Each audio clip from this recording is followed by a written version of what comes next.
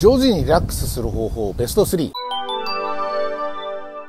精神科医カバサーシオンのカバチャンネル。今日は金沢の武家屋敷跡からお届けしています。今日は質問いただきました。ポコポン第三形態さん40歳女性。上手な気の緩め方を教えてください。私はつい頑張りすぎてしまうので意識して緩急をつけるようにしたいのですがダラダラしすぎたり普段と違うことをすると逆に疲れてしまいます。結局適度なストレスがある方がいいという結論に達しまた頑張りすぎてしまいます。どうしたらいいですか？リラックスするのが苦手という人が多いですね。私の本によく書かれているのが緩急をつけましょう。仕事をする時はバリバリ働きますが家に帰ってきたらのんびりしましょう。家に入ってきてもアクセク動いてると一日中動き回った状態で全然気を緩む間がない。神経の糸が張り詰めてしまう。ストレスが解消する暇がない。夜にアクセク動いてると睡眠のモード副交感神経が優位にならないのでなかなか睡眠に入りづらい。もしくは寝たとしても睡眠が深くならない。ということで緩急をつけないとものすごく健康に悪い。メンタル疾患にもなりやすく体の病気にもなりやすいです。昼間どれだけ忙しくてストレスかかってもですね夜の間にリラックスして副交感神経が優位になって免疫力が高まっていくとほぼほぼ回復するんですね人間というのは。なのできちんと一日の中でそういう疲労の回復の収支っていうのは合うようになってるんです。そのためには家に帰ってきてからリラックスするのんびりするっていうことは不可欠なんですね。しかしそれが苦手な人がいる。これメンタル疾患のある人大体苦手なんですねやっぱりね。家帰ってきたらリラックスしろって言ってもリラックスできませんと。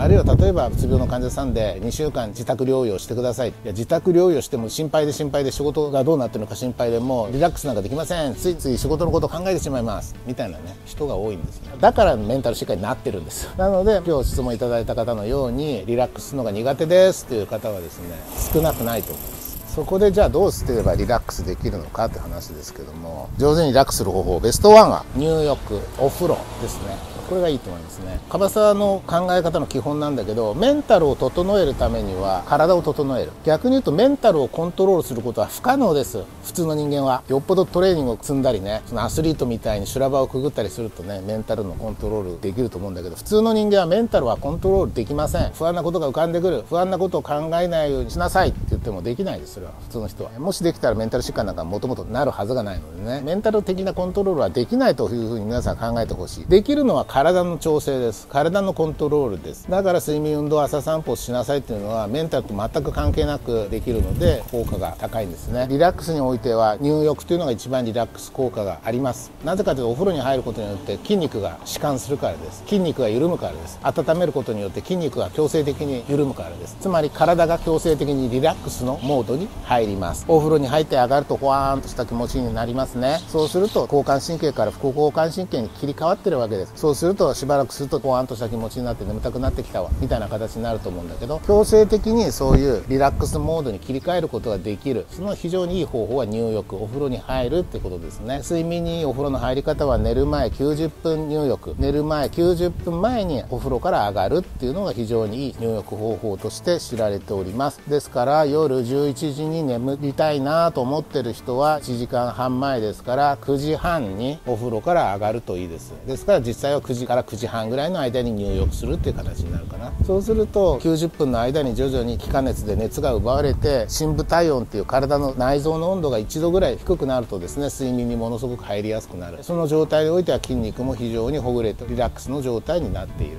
という形で寝る前90分前入浴というものがですねものすごくリラクゼーション効果が高く睡眠にもいいと。いうことなのでお風呂に入っている時にものすごく緊張してしまいますっていう人はあんまりいないと思うんですね。熱いお風呂に入るとですね交感神経が優位になってしまいますのでリラックスするための入浴ということで言いますとややぬるめの40度とかあるいは40度以下のお風呂に入るのがいいのではないでしょうかね。のんびりとのほほんと入れる熱いお風呂が好きな人はそれはそれでいいと思うんだけどものほほんとした気持ちになるってことがリラックスしてることなのでのほほんとできるような温度のお風呂に入るといいと思います。上手にリラックスする方法ベスト2は運動。睡眠運動朝散歩また運動かよって思うかもしれませんけどこの運動はですねどっちかというと激しい運動。中強度以上の運動ですね。若い人はジョギングであるとかあるいはスポーツジムに行って結構激しい例えば私はエアロビクスとか行きますけどそういったものをして汗を流すとか筋トレとかをして汗を流すとか結構激しめの運動ですね。これをやる。日中でもいいと思うんですが寝る直前にやると寝られなくなりますので寝る2時間以内に激しい運動はしないでほしいんですが仕事終わってからちょっと一汗かくというのがねいいんじゃないかなと思いますけどもそうなってきた場合合において運動した後にね疲れてふわっとした気持ちになると思うんですね。ああ疲れたなふわーって感じになる。筋肉をリラックスする場合ですね。例えばぐーっと上に伸びてふっとこう力を抜くとリラックスできるんですね。こうやって立ったままの状態ではい筋肉をリラックスしてくださいって言っても難しいんです。一旦こうやってぐーっと筋肉を収縮させてふっと力を抜くと誰でも筋肉を弛緩させることができる。緩める。緩めるためには一旦それを緊張させるってことが重要なんですね。だから運動するってことはその筋肉をね激しく使うってことになるので筋肉を激しく使った後は疲労もあって筋肉はリラックスしやすい状態になる。体がリラックスしやすい状態になるということですね。あとそういう中強度以上の運動をするとですね成長ホルモンというのも出ます。成長ホルモンというのは睡眠を非常に促すホルモンですね。疲労回復ホルモンと言ってもいい。ですから疲労を回復するそういうリラックスしたこの状態に持っていってくれるホルモンというのも運動によって出るわけなので運動する。それも軽い運動ではなくある程度汗を流すような中強度以上の運動というものを一日の中中でやっぱり入れていくっていうことがリラックスするね。運動自体は緊張ですけども体の交感神経に入りますが運動した後に弛緩する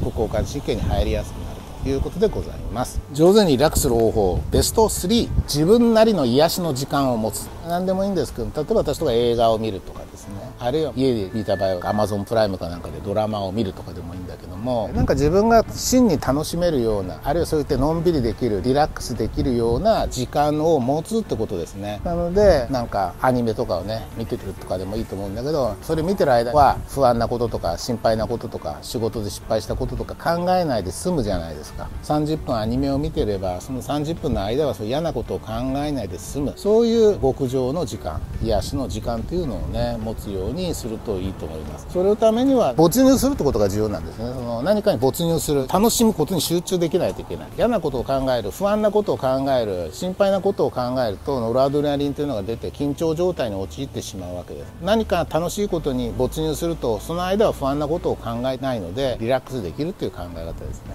読書とかもすごくいいと思います。本を読むっていうのもいいと思う。音楽を聴くっていうのもいいと思います。あとアロマとかですね。マッサージ、まあ、そういうのでのんびりするとかね。のんびりとしたら自分なりのこの癒しの時間極上の時間というものを持つ趣味でもいいです。それがとても大切だと思いますね。何もしないでいると緊張しやすいんです。さっき言った緊張しいの人。リラックスが苦手という人はですね何もしないでいるとどっちかというと緊張モードに陥ってしまうので何かに没入することでリラックスするということはとてもいいことだと思います。ということでですね上手にリラックスする方法ベスト3というものがありました。自分なりにリラックスするルーティンといったものをですね作っていくと。いうことが結構大切なんじゃないかな。お風呂に入ってその後ねのんびりして眠るみたいなこのルーティンが出来上がると体はそれに慣れていきますのでリラックスしやすくなります。自分なりの癒しの時間睡眠へのルーティン寝る前の緩める時間。これをね自分なりに工夫しながらルーティンを作っていってほしいなと